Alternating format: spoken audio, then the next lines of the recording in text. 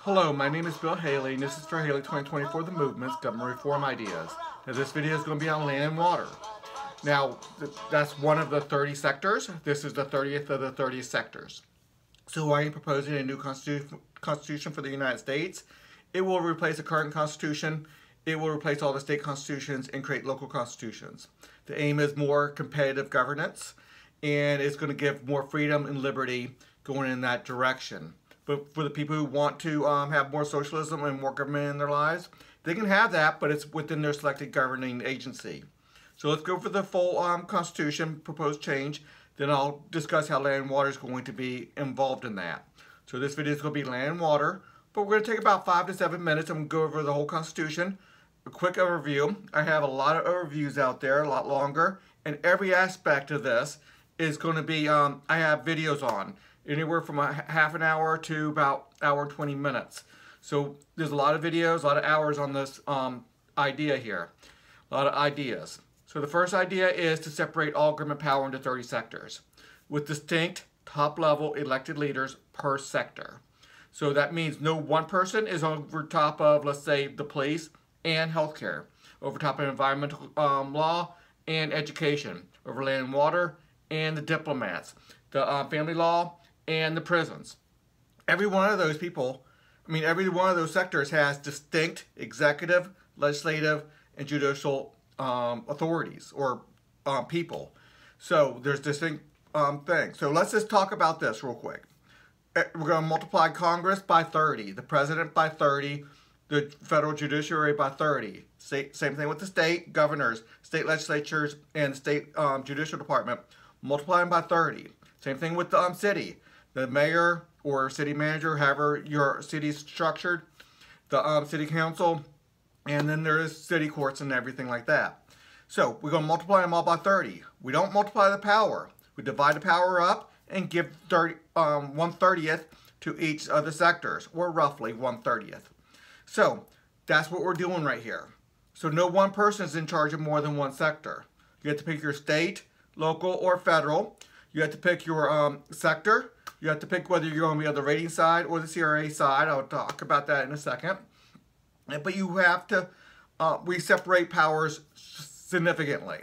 So people who are running for office in the city land and water is not the same people who are going to be running for um, office in education. So you're going to get more people who are steeped in education to run for education um, sector. People who want to talk about land and water or human resources or the military, they're going to run for their sector. So you're going to be more specialized.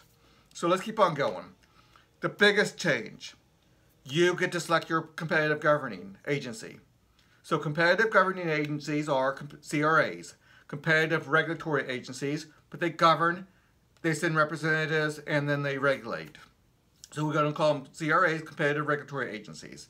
But these are full governmental systems with executive, legislative, and judicial branches. So it's highly important to understand that every CRA has that. But we have to recognize that some things will have to go to a monopolized um, level some oversights. With military oversight, the um, law enforcement oversights, we have some oversights going on out there. The rating agency is going to be given high quality information from a wide variety of perspectives, but it's going to limit um, standards getting so low as to create significant negative externalities. So everybody has to be governed. They have to pick their um, CRA, one of run of roughly 12. So you select first, then within your selection, within your group, then you um, vote. So like-minded people, let's say everybody who likes the Heritage Foundation will probably group together. Everybody who likes the Brookings Institute will group together. If you like the um, libertarian groups, you can um, group together with those people. Um, Democrat, Republican Party, you can gr group together. Then within your group, you pick who governs you. So if you like Donald Trump or Ted Cruz, you can pick groups with them. If you like Barack Obama, Hillary Clinton, Bernie Sanders, AOC, and you like their philosophy, you can be governed by groups of people who also enjoy their philosophy. So you join the one that you want to join with. And if you don't like any of them, there'll be other ones, middle of the road and everything. So you get you have to be governed, but you have to um but you get to select who's going to govern you. Then within your governing group, you elect your leadership and then they govern. Now, Up above that is the monopolized sector board. Everybody, all the CRAs send representatives up there, and if things are going to cause a significant negative externality, or you just need to have monopolized governance for a very few things, then um, they have to have a super, super majority, 70%, to, uh, and it has to be a significant negative externality, then they can make the regulations. Still governed and bureaucracy through the CRAs, but regulations through at the monopolized level, so significant negative externalities do not harm um, people outside of the contract or what's going on. Lot, lot, lot to that. Okay, we're five minutes into it. I haven't even got to the barely any of the Constitution. Let's go over it real quick. Citizenship deals with that. General laws, bylaws, uh, which is internal govern governing rules. Uh, federal, state, and local, original authority, supermajority. Like I said, 70% for anything at, at the monopolized level. Parent sector board, how that's structured. Their main job is to um, divide the powers into 30 sectors. They don't have a regulatory authority. Um, sector boards, they do only when um, it's authorized to them. Competitive regulatory agencies, that's what 90% of this whole thing is. And everything else is built to support the CRAs, to make it work better. Um, the rating system is to have give high quality information from a wide variety of perspectives. Look those videos. We still need to fund everything that we're doing. How we're going to do it, we're going to do through CRA fees and different things, but we got that covered. Debt, um, that's covered. That's a, uh, that's also doing a transition from the current system to the um, new system.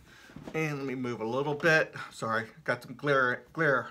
Okay, um, pockets of freedom. Um, that's going to be an important part of this for immigration and foreign policy. States partial acceptance per sector is going to be an important um, section in here. It's going to be minor. It's going to be more of a transition um, part of it, but look at those videos. And everything's on my website. The separation of responsibilities and authorities into 30 sectors. The Parent Sector Board does that, but I have the um, outline, the beginning of it. And we got five in the charity system because all welfare goes away. Government welfare goes away. You, there is a mandate to give to charity. Um, the target is um, 5% of GDP or roughly $1 trillion, which is going to be a significant amount of money there. Um, foreign protection system is, built, um, is split into five sectors. Highly important to understand we're going to have free enterprise military or significantly free enterprise military. Not 100% obviously, but there's going to be significant free enterprise in, um, military. A military authorization agency is the societal oversight to make sure nothing goes out of control. Um, different commander-in-chief from the diff different um, top diplomat. So, important to understand. Free enterprise, free enterprise, free enterprise, all the way down the line here, other than the law enforcement authorization. That's a societal oversight to say that you can have the badge or you can't have the badge. So if you're going out of, um, out of line, if you're creating problems out there, if you're not trained, if you're being a bully, if you um, you have to get authorized. So you have to be trained, you have to have internal affairs, you have to um, be monitored, you have to have a good record. If you um, start abusing the records, then you do lose your um, ability to have your badge. So anyway, free enterprise all around here, even the court system there. So a lot of standards, a lot, but lot better standards than we currently have, but by the way. Healthcare, two sectors, financial, two sectors, really um, cool monetary policy that brings free enterprise and competitive money into the mix. Insurance, dealing with transition from Social Security and Medicaid. Um, make that Medicare, I'm sorry, Medicare. Medicaid goes away well. That's part of the charity system. We'll deal with that on another video, or we already did those videos. Food, education, um, free enterprise education, uh, manufacturing, human resources and sales, identity, personal and business. Um, very important sector there um, in many ways there. All, all these are important environmental, work safety, disability. Remember, okay, environmental is different from land and water. It's going to correspond, it's going to overlap, and we have to take care of the gray, gray areas, but there will be delineation between dealing with land and water and dealing with environmental rules. Two different um, ideas there, but I do understand the gray areas. Transportation, also a little bit of gray area with land and water and everything, because it has to be going across land or water. Um, but there, there needs to be a difference. So we go free enterprise roads, whole nine yards, no problem there. Media and communication, and then land and water. Okay, this is my 30th video dealing with the sectors. Now, obviously, I've done um, probably 70 or maybe even 100 videos now on this Constitution dealing with the rating systems and the CRAs and the Parent Sector Board, every aspect of this. So I've done, uh, I, I don't know, maybe at least 60 or 70 videos dealing with the Constitution on this. And then last year I did probably well over 100 videos dealing with many aspects. Okay, let's keep on going. Competitive regulatory agencies, just to refresh your memory, they are full governmental systems. They regulate, they govern, they send representatives up to the monopolized sector board level. It's at the city, state, and federal. And um, we'll, we'll deal with all that. Okay, I always like to come back to this screen because it's so important. You pick your, you select your CRA. You select your RA. And then they govern you. When something goes wrong and you need representation, you need a voice, you go to your RA, you go to your CRA, and they're your voice. They have real power. They have representative power. They work for you. Not just your your delegate, your congressman. They don't work for this you. They work for 700,000 people. Or for a city council, however big your city is, 200,000, a million, 50,000, however big it is, they work for the, the people who voted for them. If you didn't vote for them, or even if you did vote for them, they can't please everybody. They can't be a representative of everybody. Not, not a possibility using the correct definition of representatives. Representatives needs to represent your opinions, your um, interests. You can't represent um, two people's interests when their interests are conflicting. I want to go to war. Somebody else doesn't want to go to war. You can't represent both of them. You have to vote for either war or not to go to war. Okay, and I'm not saying whether I want to go to war or not, by the way. I mean, obviously there's times to do it and times not to do it. Regardless. Uh, um, okay, so land and water sector is established. Let's go through it. There's going to be a lot of arguments, a lot of discussion on each one of these clauses. I understand that. You have to go back and look at the full structure of the CRA. The full structure of the rating system. I've thought a lot about this, and this is one of the sectors that probably could use a little bit more thought pattern, a lot more input, but this the structure of the rating system, the structure of the CRAs is going to be able to deal with a lot of issues. Let's keep on going. The purpose of the land and water sector is to regulate land and water. Uh, to, you have to have a purpose, and it has to be established. And okay, it is established. It established means it gets um, 12 CRAs, 12 RAs. All you have to do is have is 5% of um, GDP. I mean, I'm sorry, you have to have 5% of um, the citizens within your local, your state, or your federal um, jurisdiction, and then you get your um, you get your CRA, and then you get to be governed by them. Now, I understand there's going to be a lot of conflicts, especially in this one. Land and water is something we all share. We're, we're going to need to have similar regulations. I understand this one's kind of unique. Um, we have some of the same problems with some of the other issues, but it's all dealt with within the um, system. The purpose of the land and water sector is to regulate land and water. Okay, Sector 25, as identity sector, must collect proportional real estate taxes when properly authorized. So land and water deals with real estate, so um, Sector 25 can come over and collect um, taxes when properly authorized, which is not going to be often, but um, some places it needs to be. Real estate taxes must be on the occupant regardless of ownership. If there is no occupant, the owner owner must pay the tax. So there's a lot to that. When when do you collect taxes? When do you not? Obviously, there's um, some debt that we need to collect taxes on, and real estate is one of the issues. So that that needs to happen. And there's other times when real estate is going to come into play, uh, funding for poli police or the prisons and the like. Not going to be a ton, but it needs to be there. The land and water sector must control zoning and quality of life ordinances. It's going to have a lot more city stuff. If you don't see it in the other um, other um, sectors, like education, obviously going to deal with education. The police sector is going to deal with police. There's going to be a lot of other um, sectors dealing with a lot of issues. But this is a lot of city ordinances, um, noise ordinances, stuff like that. Uh, building codes. There's going to be a lot to it. Um, and this does not describe it all all the way but the parent sector board will make sure you have a full list of things it's responsible for. So I'm, I'm not going to go into it now, but the system's set up to make sure everything's covered. State level or local level Sector 30 sector boards with a 50% vote may designate small subdivisions, homeowners associations, business areas, and the like with control over specific, specific aspects of, of responsibilities. So maybe not all the aspects, but we want them to have certain aspects of um, control. Noise ordinances and building codes and how tall your grass is. Gets into the weeds. I know there's a lot more to it than that. But um, I want them to have a lot of um, control at the very, very local level. Now, it doesn't have to. You, you can um, you can apply, or your look your subdivision does not have to go to all that. They can just do the full out city um, codes. But let's let's keep on going. If 50% of the rating system representatives declare the removal or diminishment of a regulation would neg negatively impact the quality of life of the citizens or property values of the area, the regulations must remain. The rating system may set a rating floor on quality of life issues. So there's a lot of there's going to be a lot of issues switching over. But I just want to make sure things aren't going to go bad real quick because hey, it's competitive and this business can do whatever they want.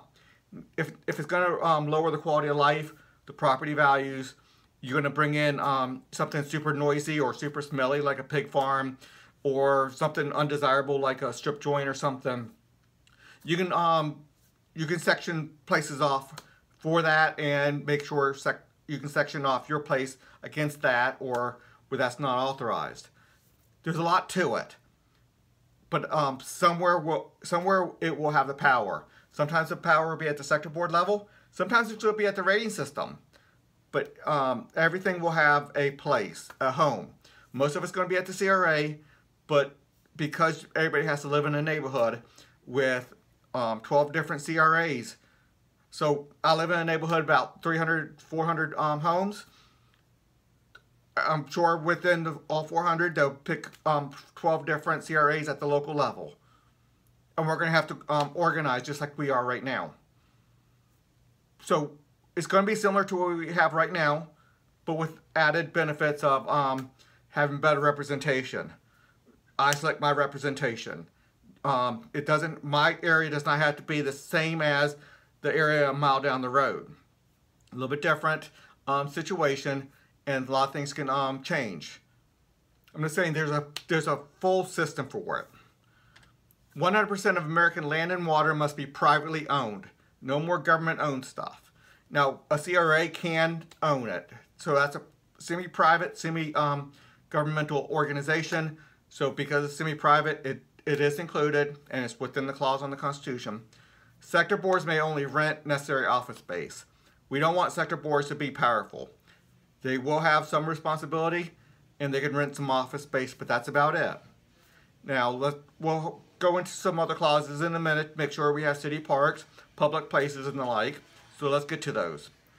A state sector 30 may become exclusive to a geographic group of containing less than 1,000 entities.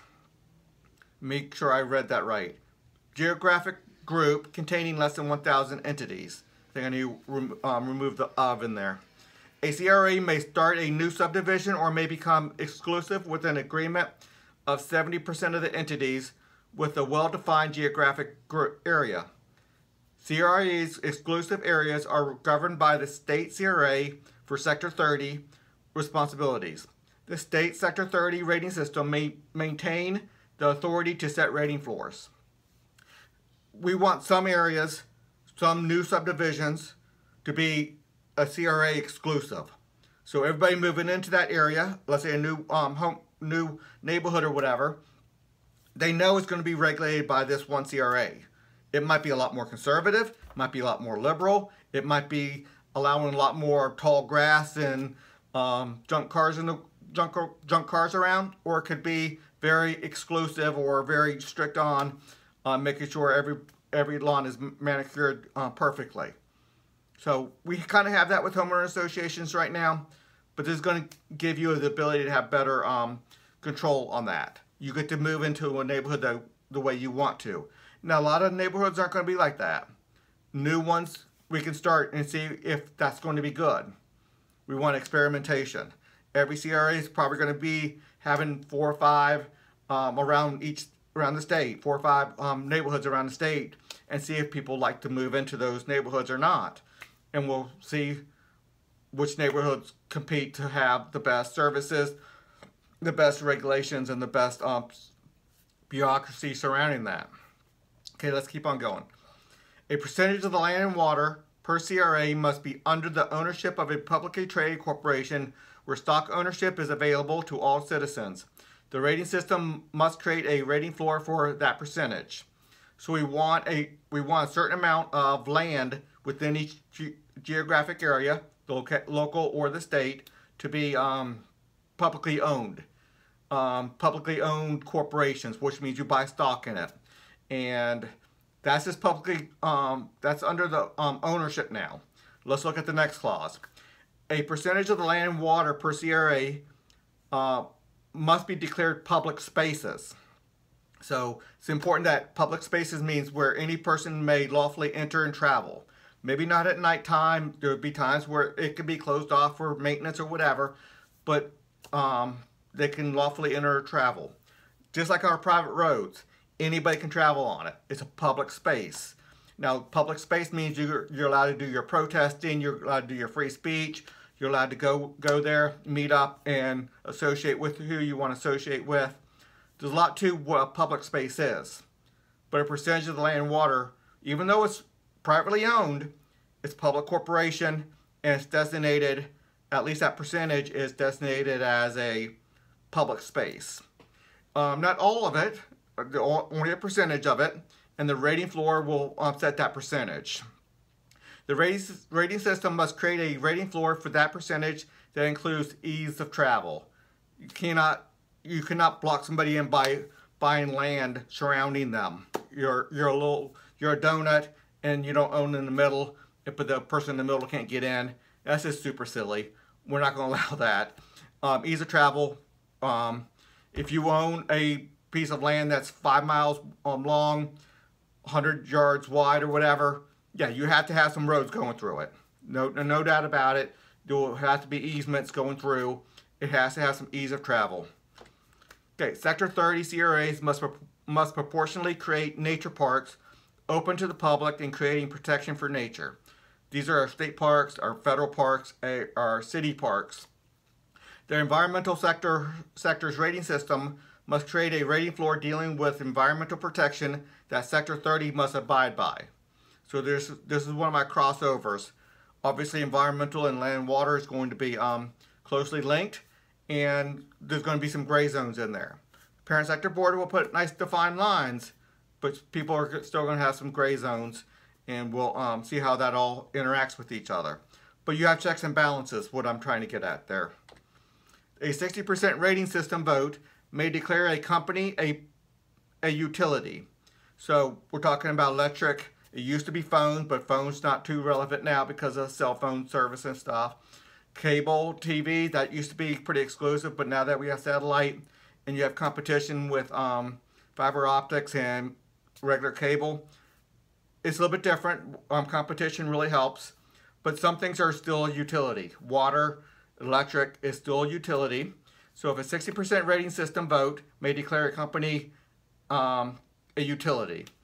This vote forces a company to be a publicly traded corporation where any citizen may purchase stocks. So you, you can take ownership in that, especially if you're within that geographic area. That's why I use the word citizen in there. Um, let's see. Um, this vote, and when I say citizen, within that geographic area dealing with that, they, they have more um, more say on whether they want to buy that stock or not than somebody who lives outside that geographic area. But publicly owned company is can be bought by anybody. Um, now I say citizen, so maybe a foreign company can't. I mean, foreign companies and foreign money cannot come in and buy stock up. A citizen may. Okay. This vote also requires a corporation to be open to all customers and to respect civil liberties. So a even though it be publicly traded company, a water comp water company or electric company cannot say no. I don't like I don't like you. You can't have electricity. No, that's not allowed. You are you are a utility and you got declared a utility, declare utility has to be declared because of uh, anti-monopolistic um, practices or because there's a monopolistic um, nature of it. You cannot put more water lines down. You can you cannot have five um, set full sets of water lines and sewer lines and electric lines. Um, so some things could be declared a utility. So you, it has to be open to all customers and to respect civil liberty rating floors. The rating system may make a partial list of requirements, so there'll be a whole list of things you can't do because of your utility, but the rating system can partial that out. Hey, you are kind of um, a utility, but not all the way. We want to be able to see, see that you're a public corporation, or we want to see that you're um, accepting any customer that comes in, or we want to see that you're respecting civil liberties. There's a lot to it. Um, and the rating system is there to work a lot of that out. We might be able to have the free speech, um, which is another sector, I think that's 29, 29 if I'm not mistaken, come in and say, hey, this is a civil liberty. You cannot stop us from um, stating our views because you are such a um, monopolistic um, company that has such a big market share of this whole thing that you are declared a utility. And that's only a very, for a very few things that um, that now that company cannot do. Um, okay. I'm getting into a lot there. I totally understand I'm getting into a lot, but I've thought about these clauses and a lot of things can be worked out just through the structure. There's you have a representation. Your RA is going to fight for you. Your um, CRA is going to fight for you. And if they're not, switch to a different RA or a different CRA. Okay. The rating system may make requirements for a, a, class of companies. A class of companies, a class of companies might be like um, hotels. You cannot, um, you you might only be a small hotel somewhere, but we don't want any hotel to say, no, you can't come up, come in here because of your color of your skin or something like that. Now, obviously, they should be able to keep away. Hey, I think you're doing prostitution out of here. Yeah, you can keep those people out. That's what a rating system can do it can distinguish between um, discrimination based off of someone's color of their skin versus what activity that you might be bringing in here that might be criminal or um, unsavory or whatever. So a rating system can do that where laws can have a harder time doing that. The rating system may make requirements for a class of companies, semicolon. These rating system requirements must meet the standard of addressing significant negative externalities. So you cannot just call somebody utility if there's no negative externality going on. And I and I make sure I say significant negative externalities. So a little bit a little bit of negative externalities is fine because everybody has to deal with somebody else having liberty. But when it becomes significant, then um, there's a problem. And it is a negative externality to discriminate by somebody by the color of their skin because it harms the morale and nature of society at its at its at its um, core. So it cannot be everything, but that's why the rating system's in in place. And I use the 60% on purpose, and if that has to be changed, we'll see if that that needs to be 60 or 70 or 50. I don't know, but I think 60 is probably a pretty good range right there a 70% vote of each of the CRA sector boards and rating systems of Sector 25 and Sector 30, which has the identity sector and um, land and water sector, is required for eminent domain. And the price must be at least double the fair market value. So eminent domain is not something I'm supportive of too much on. But I do recognize in, in some circumstances when a road has to go from point A to point B, it has to make it there. Some circumstances where it's necessary. It's not ever necessary for a school or a library. It's not a government function or versus a private function. That should never be the um, distinguishing thing. A library never needs to be at a specific spot. A school never needs to be at a specific spot.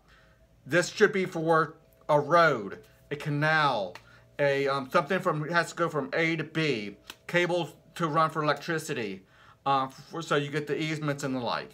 Electrical wires going across.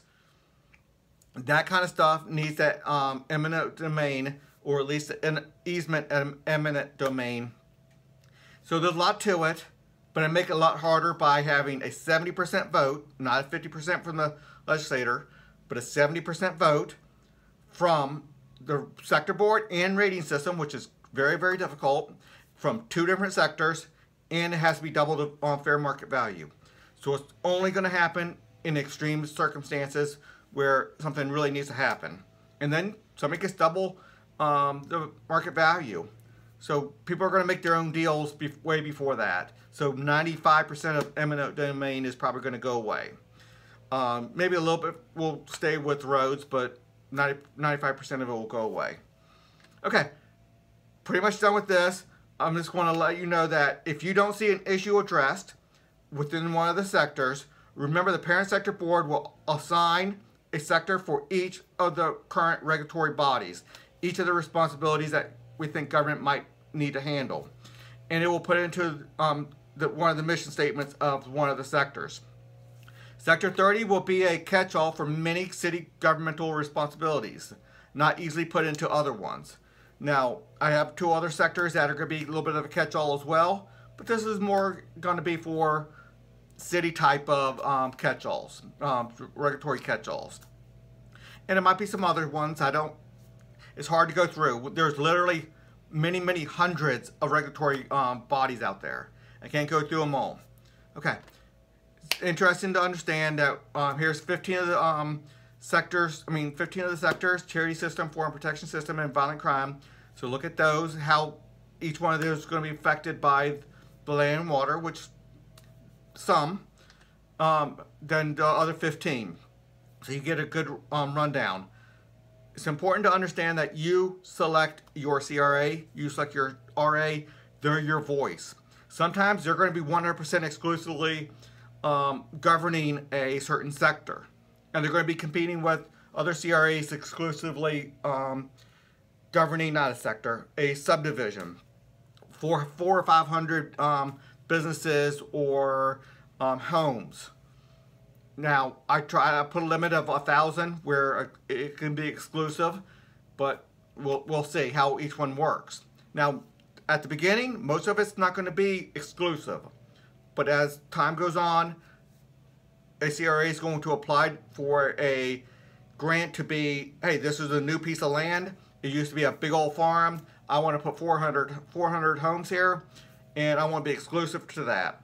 They, they can do that. They, they have to buy that up. A CRA, so they can buy it up, and then they um, develop that land and the like, um, and the like. And other CRAs will do the same. Now, um, some other ones might say, hey, that's working really well for us. Um, having all the CRAs competing for um, what the regulations are going to be for the monopolized regulations about um, grass height and noise ordinances and all that stuff, it might be too burdensome. We'll see. Which We'll see which one works better. Anyway, this is my 30th of the um 30th of the 30 sectors.